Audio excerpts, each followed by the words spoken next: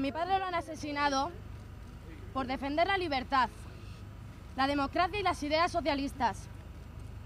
Ha sido siempre un hombre valiente, que ha dado la cara. Y los que le han matado han sido unos cobardes.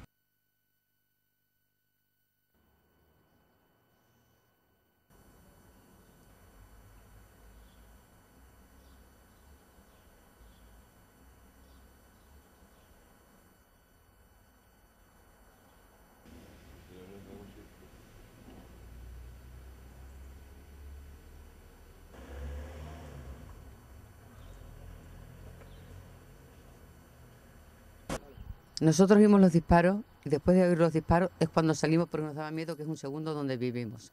Él se estaba venía de su casa, bueno, yo no lo he visto venir de su casa, sino dentro del coche mm, lo vimos que salía del coche y con las manos así impuestas y iba él andando por sus pies, tambaleándose y se eh, derrumbó eh, ahí en la carretera. Y entonces su mujer y su hija, que lo estaban viendo, que se tambaleaba desde la ventana, salieron, me lo han matado, me lo han matado, y esto era una locura, lo que ayer se preparó aquí en San Andrés, y no debiera de pasar estas cosas.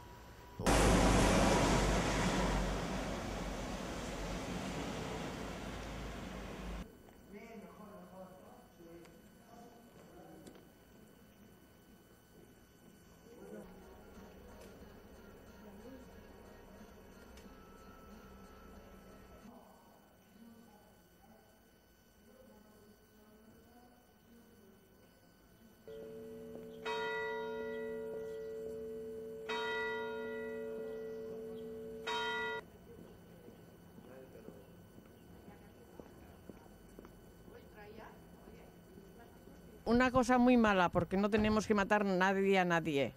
Y además dejar ahora a tres hijos huérfanos.